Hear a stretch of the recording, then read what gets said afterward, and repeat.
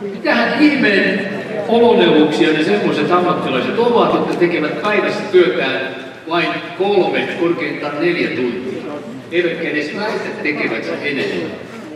He ovat tietenkin ammattiurheilijoita, hiihtäjiä, juoksijoita tai muita, jotka sitä puuhaa työkseen harrastavat tai enemmänkin kuin harrastavat, ihan oikeasti tekevät ammatikseen. Se on armotonta hommaa, me tavalliset tallaajat emme ymmärrä siitä paljon mitään, mutta ammatin eläminestä rankkuudesta tajuaa Haminan oloneuvosten Kalervo Saharinen.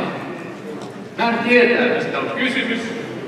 Hyvää päivää vaan kaikille, hyvää yleisö. Minä olen Harri Hiittäjä, tai nykyään oikein Harri Luistelumies. Kun seuraa veteli kuivat, eli veku. Mä vaihon seuraa viime vuonna, kun entinen seura oli Kyroskosken pärske. Tuli niin ruma, ruma sinne Perkkarin selkään se lyhenne.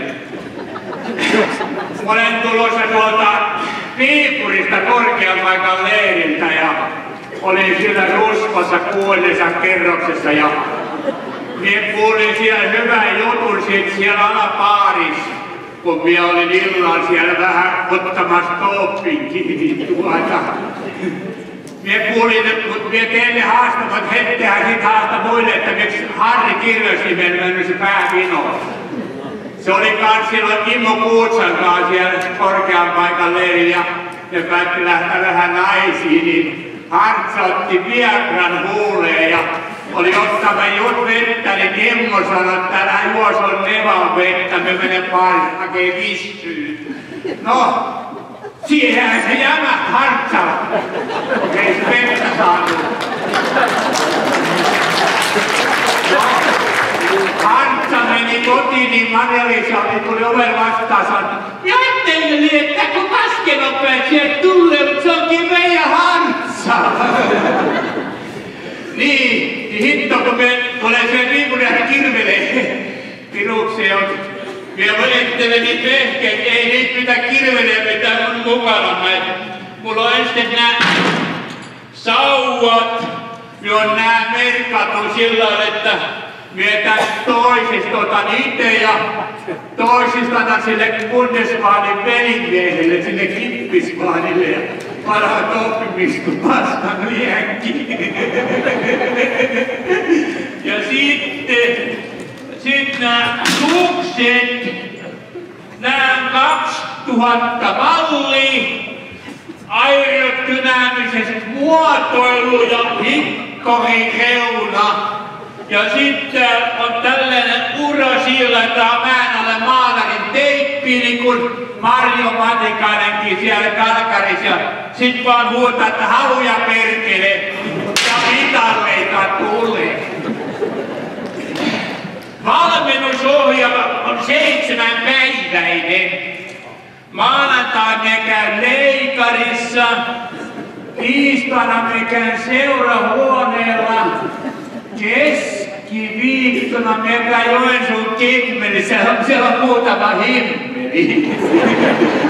ja sitten torstaina me käyn Lovisan Siltonissa, siellä on pari poikaystävää, jonka me vähän hiihellään. Joo, ja sitten torstaina perjantaina me käyn paikallisessa pupissa ja sitten lauantai minä vaan luistelen. Ja mitalleita tulee. Ja, Muuten hanskat oman koiran nahasta. Tää on pariluistelusta. Tää on rosettiluistelusta. Tää on totosta. Ja tää on ampumahiihosta. Hitto kun laukas se haulikkasi palkintakorokkeinen reikähän siihen tuli. Minulla otsi. Sitten kysytään, että käytätkö toppi? Kyllä. Kyllä minä käytän, kun kaikki muutkin käyttää. Mutta kattokas, minä olen keksinyt hyvän konstin. Me kyllä heitä kilpailuun, niin minulla on täällä housussa tämmönen taskumatti. Niin naapurin pienpoika 5V lasketaan antaa lämmin pissi täyteen ja sitten kun me menen toppikeen, enää mitään liian, niin sitten no se on? Vielä sitten pukin täyteen lämmin pissa ja ikänä on kärrytty. Nyt kysytään, että onko mitään sivuvaikutuksia. No niin, Pirun vihaiseksi teet tähän hevonkuusien kantaa koko talo! Niin. Joo, anteeksi vaan, että hermostun. Tuottekin hyvä yleisö. Mutta saat niin paljon kuin haluatte taputtaa, se nimittäin tekee soittajan seksuaalielämän hyvälle. Nimittäin herkän kuoren alla on töttöröinen sielu. Ei muuta kuin hyvää joulua. Kiitos.